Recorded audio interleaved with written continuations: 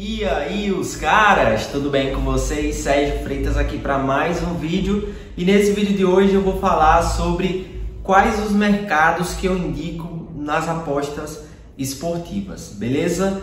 É, muita gente tem dúvida né, sobre quantos mercados focar, quais os mercados são os melhores para as apostas esportivas, quais são os mais seguros, quais são os mais lucrativos quais são os que eu faço, quais são os que eu recomendo para quem é iniciante, para quem está no nível intermediário nas apostas, para quem já, é, já pode se considerar uma profissional. Então, nesse vídeo de hoje eu vou estar explicando tudo isso. Antes de começar, deixa o like, se inscreve no canal se você ainda não tiver inscrito, é um canal novo. O último canal que nós tínhamos tinha mais de 117 mil seguidores acabamos perdendo por conta dos strikes. Então se inscreve, ativa as notificações para receber todos os vídeos e compartilha com seus amigos também. Beleza, galera? Antes de começar falando sobre isso, falar sobre meu início, né, nas apostas. Eu quando eu iniciei, eu fazia muitas múltiplas e os mercados que eu mais selecionava nessas múltiplas eram vitórias das equipes. Vitória dos times favoritos, né? Pegava ali cotação de 1,30, cotação de 1,50, cotação de 1,80, 2,20 quando a, o time já tem uma cotação maior de 3,30, de 4, por, por exemplo, já entrava numa dupla chance.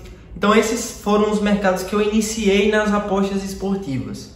E eu acredito que muita gente também inicia, né?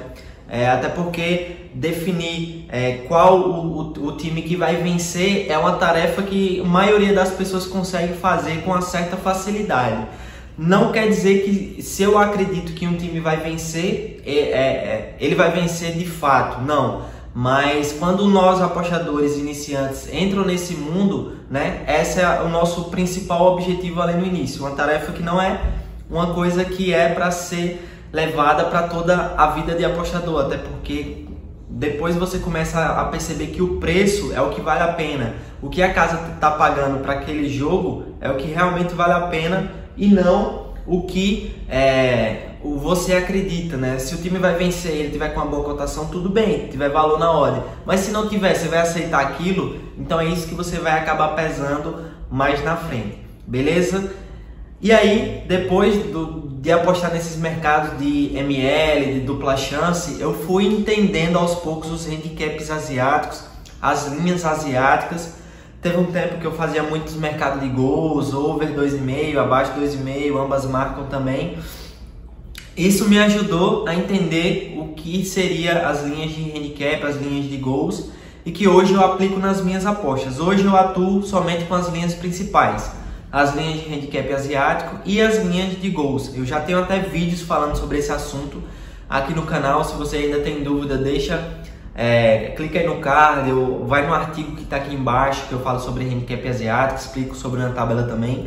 São os mercados profissionais, o que os grandes apostadores trabalham, até porque é, são as linhas onde tem maiores limites de apostas e você consegue pegar, além de boas cotações, você consegue pegar também bom é, valores altos de apostas para poder trabalhar na sua banca, em grupos de tipsters, em sindicatos, em bancas de investidores também é possível você fazer essas apostas com mais tranquilidade do que apostar em mercados, é, mercados secundários, mercados europeus, que são o que? Cartões, escanteios, jogador para marcar gol, minuto do gol. Existem vários e vários mercados que você pode se tornar um especialista sim, que você pode trabalhar, mas é aquela coisa, você tem que focar. Quanto mais você foca, quanto mais você é especialista, mais você tem uma acessibilidade, mais você consegue se adaptar ao método, né? Agora quando você fica fazendo mercado de gols, handicap, abertura, aí você pega escanteios, pega cartões, daqui a pouco trabalha com um jogador para marcar gol,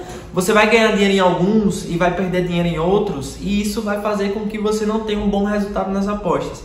Então, quanto mais você foca em alguma coisa que você tem uma sensibilidade maior e que você tem bons resultados, melhor para você, beleza? Então é isso.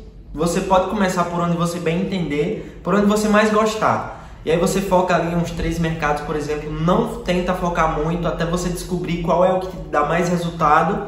E aí, sem dúvidas, o que eu vou recomendar para você é aquilo que te dá mais resultados. Mas sem avaliar isso, é, você não vai saber, não vai descobrir, né? Você tem seu método de apostas, você tem uns campeonatos que você cobre e aí no seu método vai o seu método vai se encaixar melhor de alguma forma em algum mercado e aí você foca nisso.